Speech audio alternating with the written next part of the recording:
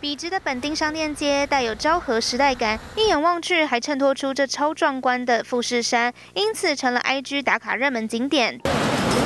号志灯由绿转红，直行车停下来后，民众开始走到马路中间拍富士山，但还有横向的车辆在行驶，像这样大型货车转过来，民众马上跑回人行道上。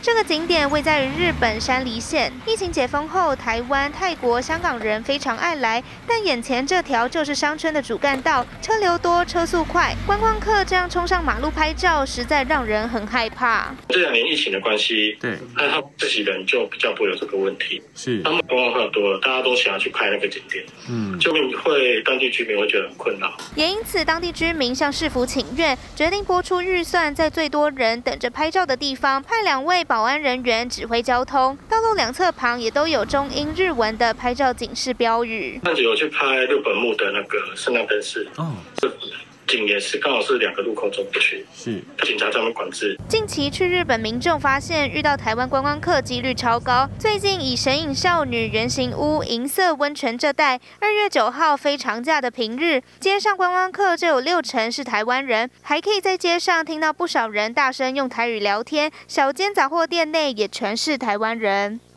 又或者这个河口湖浅间神社景点，有台湾人朋友代表先排队等拍照，后面一次加入四五个人，就被其他国家游客表示不满。开心出国，你我行为注意，别影响台湾人形象。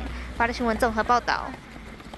刚刚看到了乱象多之外呢，其实哦，台湾人到日本也很喜欢自驾，但是现在事故也非常的多，像是日本北海道、冲绳还有九州都是热门的自驾城市，因为让旅客呢觉得很方便又很省时。不过要注意了，因为这跟台湾驾驶的习惯不同，也就是左右驾不一样哦，因此交通意外频传。为了避免当马路三宝，不少人会先到这个驾训班呢来练习右驾，除了先熟悉视觉。空间，那教练呢也会教一些行车的礼仪，像是呢不能一边开这个开车的时候讲响电话啦、划手机等等，因为违规的话呢可能会被关六个月，或者是会被罚钱。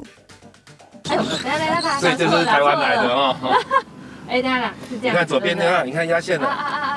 一不小心想打方向灯，却变成雨刷。习惯了以往开车方法，左右不分，是许多台湾人到日本驾车会犯的错误。所以你看，你左转没过了哦，哦这样走山路就危险了。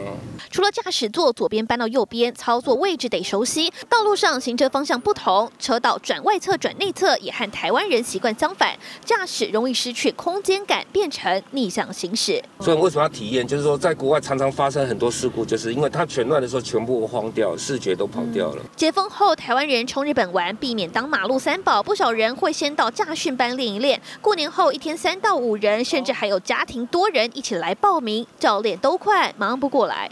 三成左右礼让的方式啊，还有一些。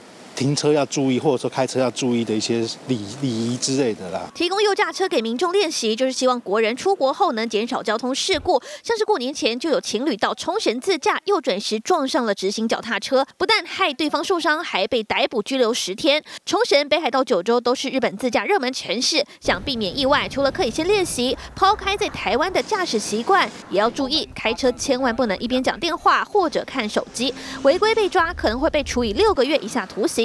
或者罚款十万日币，折合台币大约二点一万元。另外，车与车的安全距离至少要隔两秒车距，尤其高速公路是重点取缔。要是发生车祸或擦撞，一定要报警。有点擦伤，这种状况你都要报警，这跟台湾不一样哦。看警察怎么处理，然后再就是你租的车子有没有保险嘛？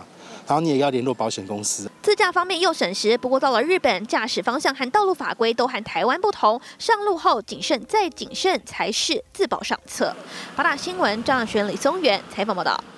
民生八方式尽在一小时，要订阅，不要忘记要按小铃铛哦。